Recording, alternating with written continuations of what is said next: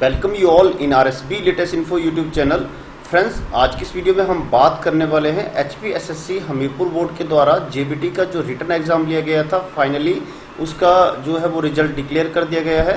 तो फ्रेंड्स इस रिज़ल्ट को किस तरह से चेकआउट करना है, आज की इस वीडियो में हम डिटेल में डिस्कस करने वाले हैं। तो फ्रेंड्स वीडियो की आपको थोड़ा सा भी अच्छा लगे तो प्लीज़ लाइक शेयर और कमेंट करना मत भूलिएगा।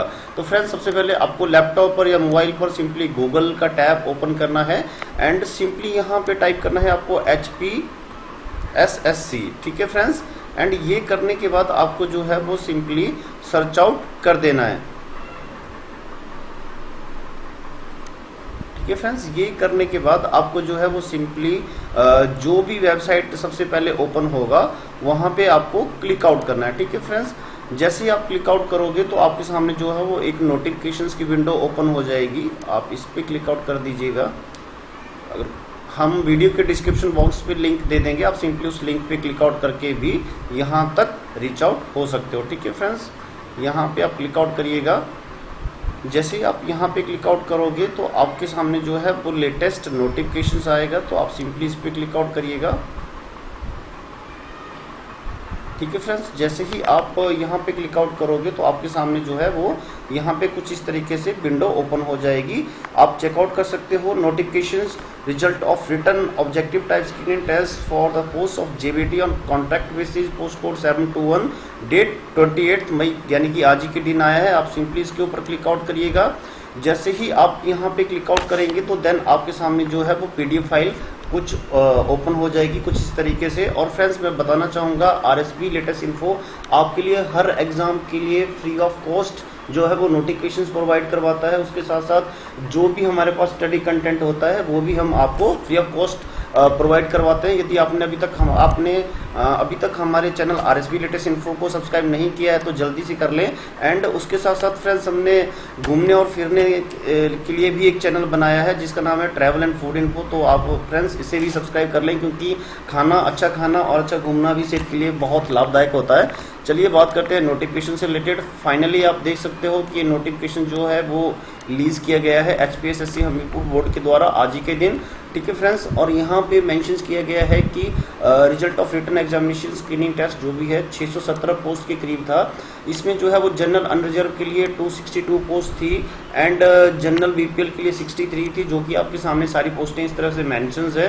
ठीक है फ्रेंड्स कॉन्टैक्ट बेसिस था, आप चेकआउट कर सकते हो। यहाँ पे जो है, वो टोटल इतने कैंडिडेट ने अप्लाई किया था और इतने कैंडिडेट ने जो है वो एडमिट किया था। एंड इस स्क्रीनिंग एग्ज़ाम में जो है वो टोटल इतने कैंडिडेट अपियर हुए थे एंड इतने कैंडिडेट जो थे वो अपसेंट थे। ठीक है फ्रेंड्स टोटल जो है वो तीन हज़ार कैंडिडेट इन जितने भी एग्ज़ाम थे जो कि पास आउट हुए थे, उनमें से जो है वो टोटल तीन हज़ार दो सौ छत्तीस कैंडिडेट को जो है वो फाइनल इंटरव्यू के लिए जो है वो सिलेक्ट किया गया है, जिनका रोल नंबर जो है वो यहाँ पे है। फ्रेंड्स आप चेकआउट कर सकते हो। यदि आपको पीडीएफ फ़ाइल नहीं मिल रहा है तो आप वीडियो में कमेंट करिएगा। हम अपने website W W dot com R S B latest info dot com में भी इस लिस्ट को जो है वो अपडेट कर देंगे। बाकी आप यहाँ पे हमारे चैनल पे भी चेकआउट कर सकते हो वीडियो को पॉज करके। ठीक है फ्रेंड्स कुल ये कैंडिडेट जो हैं वो फाइनल राउंड इंटरव्यू यानी कि स्क्रीनिंग टेस्ट होने के बाद जो है वो 15 मिनट का असेसमेंट होगा। उसके लिए जो है वो उन्हें सिलेक्ट किया गया है। ठीक है फ्रेंड्स आप देख सकते हो।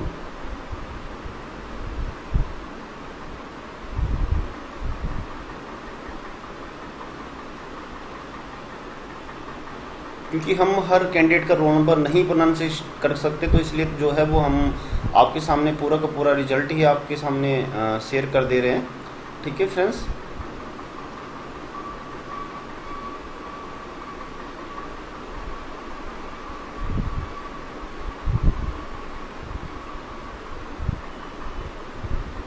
ठीक है फ्रेंड्स, इस तरीके से जो है वो सभी कैंडिडेट को जो है वो जो जितने भी कैंडिडेट शॉर्ट लिस्टेड किए गए हैं, उनके 15 मार्क्स का इवेल्यूशन होगा। 15 जून 2022 15 जून से लेके 22 जून 22 जुलाई 2022 12 के बीच। यानी कि आपको जो है वो इसके दौरान प्रिपेयर रहना है और नाइन थर्टी पे जो है वो आपको Himachal Pradesh staff selection commission board Hamirpur में जो है वो अपने ओरिजिनल डॉक्यूमेंट क्वालिफिकेशन जो भी डॉक्यूमेंट है वो लेके आना है।